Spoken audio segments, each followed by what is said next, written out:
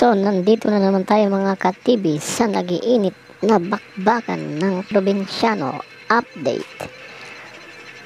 So, sama-sama nating panoorin ang bakbakan ng probinsyano ngayon.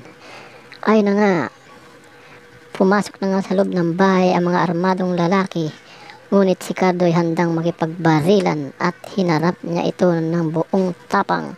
Lumabas siya sa pinagtataguan at tumalon at pinagbabaril ang mga armadong lalaki sa loob ng bahay. Nakipagbarilan siya dito at prinutiktahan niya ang mag-asawang Teban at Pilar at sinabihan niya itong umakyat sa kinaroroonan ni Leia at magtago sila doon. At agad-agad namang pumasok sila sa taas at sa kinaroroonan ni Leia.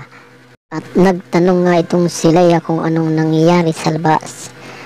At Sinagot naman sila ng mag-asawang Teban na nakipagbarilan si Cardo sa labas at kung pwede sana tulungan niya dahil isa itong pulis at agad naman tinuro ni Tiban ang pinagkataguan ng baril ni Colonel at kumuha si Leia ng isa at agad naman itong bumaba upang tulungan si Cardo.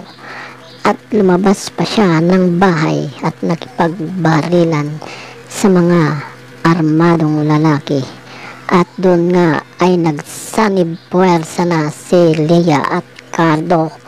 At napagtagumpayan nga nilang maubos ang lahat. Subalit sa bandang huli na pag-isip-isip nila na sila ay magkaaway pala. Kaya agad na tinutukan ni Leia si Cardo ng baril at pinapasuko ito. Subalit hinamon siya ito ni Cardo na hindi siya susuko. Kung gusto niya ay iputok niya ang baril niya Ngunit nung angkang putok ni Leah ang baril at kalabitin ng gatilyo, wala na pala itong bala kaya nagkaroon si Cardo ng pagkakataong baliktarin ang pangyayari. Inagaw niya at tinutukan si Leah ng baril at nanlaki ang mata ni Leah.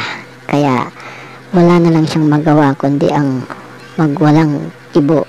Subalit ang mag-asawang Teban at Pilar ay natatakot na bakit sila nag-aaway kaya pinapatigil na nila. Kaya hanggang dito na lang mga katibi hanggang sa muli. Bye bye.